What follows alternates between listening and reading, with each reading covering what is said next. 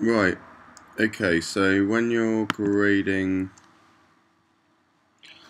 the work, I've just added a, a, rubric for you. So if you click into the task 4, which should have everything in it, um, so you should just be able to mark from that.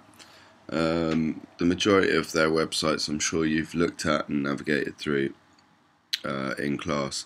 So really, I've, I've, added this rubric. This is the rubric from the Level 2 Creative Media Diploma, UAL.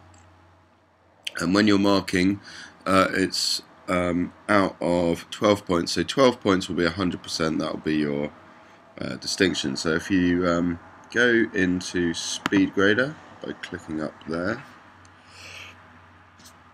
let's take for example Raddy's work. We can have a quick look through um, we can look at his evaluation. Continued his evaluation continued.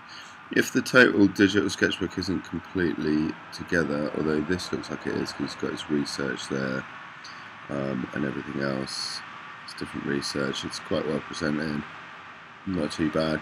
Remember this is level 2 so we're not looking for that kind of A level, level three sort of work.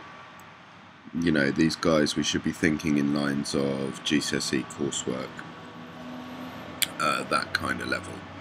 Um, so yeah, um, he's got his fonts there. He's got a different plan.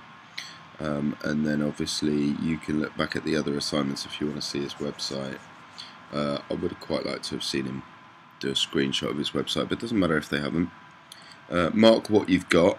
Obviously, mark what you've got in. You can look at all the other submissions, but their final grade should be submitted on this task four, um, which will give them feedback so that they know how to improve. So if you click the button there, like I just clicked with the grading rubric, this then lights up with different colors okay so currently um, I would suggest that Raddy um, his evaluation which is in here, is very detailed for a level 2 evaluation.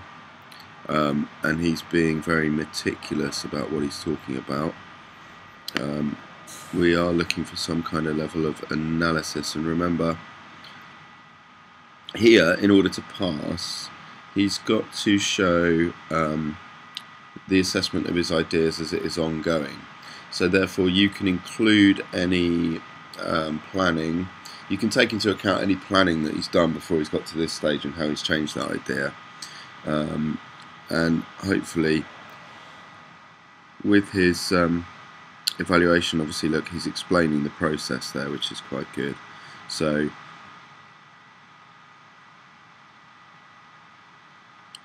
you know, and he's uh, assessing the tools that he's used, whether they were effective or not. Okay, so I mean, target units for WordPress.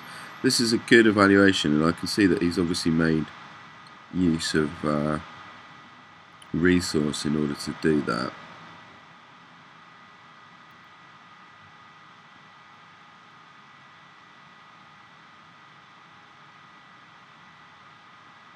I mean, I didn't dislike the brief. Nice. Thanks, Raddy. Glad you didn't dislike it obviously you've got a future diplomat there. Um, now the question here, I think, with with something like this, is really um, asking yourself, could that be improved? There's a lot of text-based stuff there. I don't know if it's perceptive evaluation and interpretation, demonstrating clarity in thinking and decision making, used to inform and progress ideas.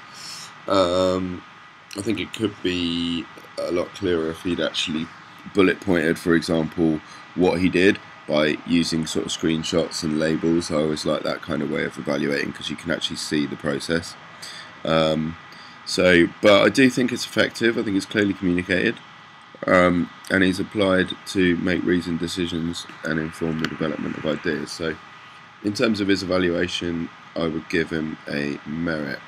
Um, in terms of his um, practical skills, um, you know, again, I would probably give Raddy um, a merit again because uh, I believe that it's considered and capable demonstration of processes, application of skills and knowledge, used to develop ideas and prevent creative solutions.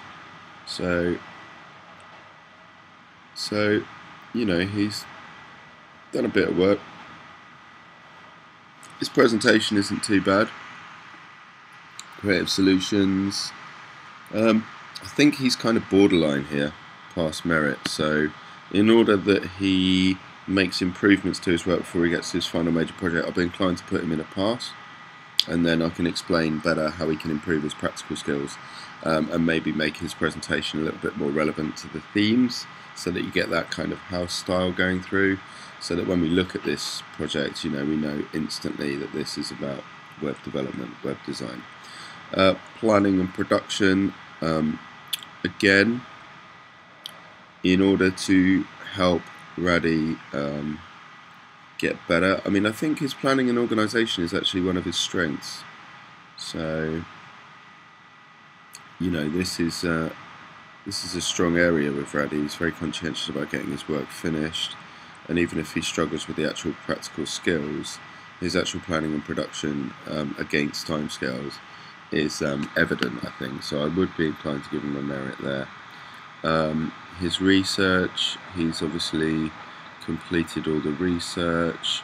Again, you can include the research that he's done and his poster stuff. So with Radi, for example, the presentation of the poster, although should be could be improved, his research um, and investigation has been fairly thorough and coherent. Although, in order to try and push up the standards of research, what I've been inclined to do again is put him in the past and then give him some really, really good feedback on how he can improve that in those areas. Um, once you've done that, you can see that you've then got 6 out of 12, so that's like a 50%. So 50% should be enough to give him a pass level, but also then, when you've ticked in this rubric, it gives him some feedback to show him how he can improve.